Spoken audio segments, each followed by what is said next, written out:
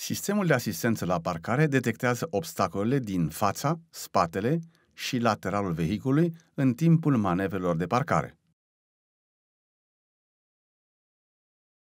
Acesta vă oferă avertismente sonore a căror frecvență se intensifică pe măsură ce obiectul se apropie, transformându-se într-un semnal constant atunci când obstacolul este la o distanță de 20 sau 30 cm de vehicul. Afișajul ecranului completează avertismentele sonore și vă permite să vizualizați zona din jurul vehiculului.